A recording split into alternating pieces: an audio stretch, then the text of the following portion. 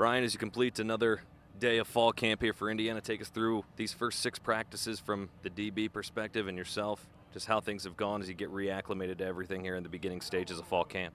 Um, you know, I think things going pretty well for the DBs group. Uh, you know, we came out a little uh, rough at the beginning, but you know that's how it typically goes. You know, off to a rough start, but um, but here towards the uh, end of the day six, uh, the DBs looking really strong out there today. Seems like the competition level, offense, defense, especially now that you guys are, are full padded and going right up against each other, seems pretty high. Is that been consistent this first week of practice? Oh yeah, definitely. You know, um, we was ready to get out, uh, get after each other. You know uh, that's that's that's how it goes when you're just in shells and stuff like that. But uh, now that it's full pad, I feel like articity is great out there.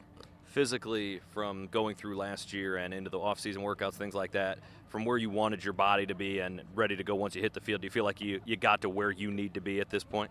Oh yeah, definitely. Uh, you know, with the hire of Coach Blue and uh, Coach Dr. Ray, you know, it was, it was a big it was a big help for us. And uh, me now, I feel I was I'm more mature in terms of my body, and I'm I'm ready to play now.